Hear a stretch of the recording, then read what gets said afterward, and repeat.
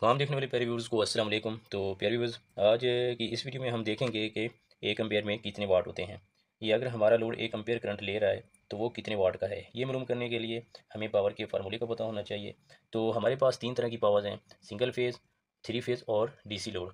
تو ہم سب سے پہلے سنگل فیز میں معلوم کریں گے تو سنگل فیز کا جو فارمولہ ہے، وہ ہے پاور، برابر ہے، volt multiply ampere current multiply power factor تو یہ ہمارا سنگل فیز میں جو ہے کسی بھی لوڈ کا پاور معلوم کرنے کا فارمولہ ہے۔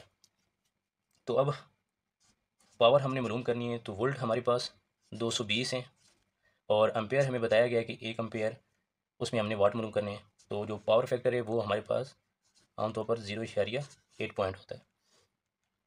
تو اب ہم اسے ملٹیپلائی کریں گے۔ تو ہمارے پاس آ جائے گا ایک سو چھہتر واٹ۔ یعنی کہ اگر ہمارے پاس کوئی لوڈ ہے جس کو ہم نے دو سو بیس وولٹ دیا اور دو سو بیس وولٹ دینے پر وہ ایک امپیئر کرنٹ لے رہا ہے اور پاور فیکٹر ہمارا زیرو اشاری ایٹ پوائنٹ ہے، تو اس کی پاور، اس لوڈ کی پاور ایک سو چھہتر واٹ ہوگی۔ تو مثال کے طور پر جو ہمارے پاس وولٹ ہیں، وہ دو سو آ رہے ہیں۔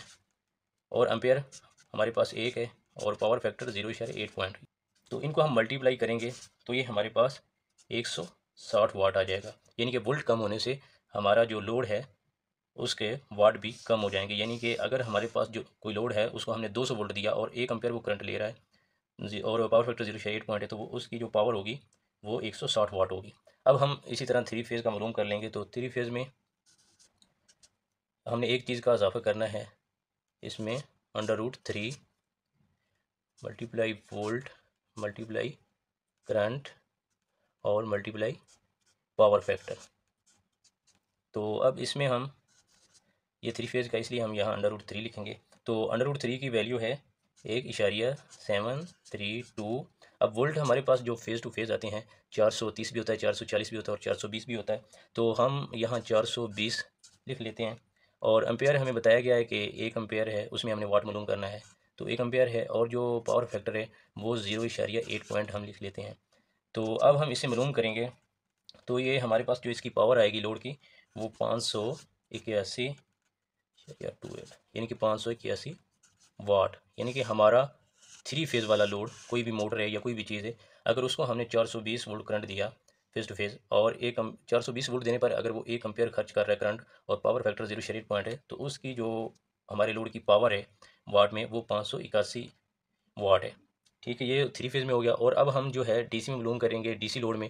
تو ڈی سی لوڈ میں ہمیں پاور فیکٹر کی ضرورت نہیں ہوتی، وہ بالکل سیم سادہ جو ہے نا فارمولہ ہے۔ تو اس میں ہم لکھیں گے پاور برابر ہے وولٹ ملٹیپلائی کرنٹ تو یہاں ہم نے پاور معلوم کرنی ہے۔ تو وولٹ ہمارے پاس جو ڈی سی وولٹ ہوتے ہیں بیٹری کے یا سولر پلیٹ کے، تو وہ بارہ ہوتے ہیں۔ اور امپیئر ہمارے پاس ایک ہے۔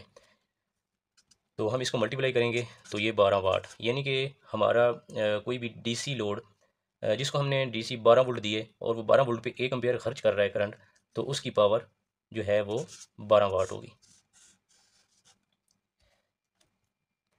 تو اس طریقے سے ہم کسی بھی الیکٹرک لوڈ کی پاور معلوم کر سکتے ہیں اگر ہمارے پاس وولٹ اور امپیئر موجود ہوں تو۔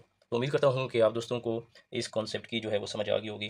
تو جو دوست ہمارے چینل پر نئے ہیں، وہ چینل کو سبسکرائب کر لیں۔